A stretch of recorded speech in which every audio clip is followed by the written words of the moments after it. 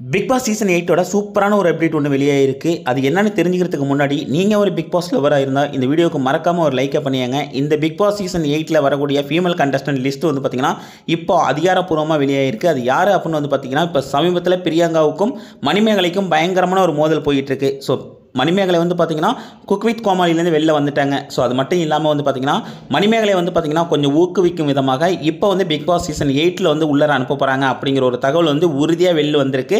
So ஏன்னா வந்து அவங்களுக்கு ஏதாச்சும் ஒரு இது பண்ணி அவங்கள வந்து உள்ளர வச்சுக்கணும் அப்படின்னு சொல்லிட்டு விஜய் டிவி நினைக்கிறாங்க. ஸோ அதனால் வந்து பார்த்திங்கன்னா மணிமேகலை வந்து பிக் பாஸ் சீசன் எயிட்டில் வந்து உள்ளர போகிறாங்க அப்படிங்கிறது உறுதியாயிருச்சு.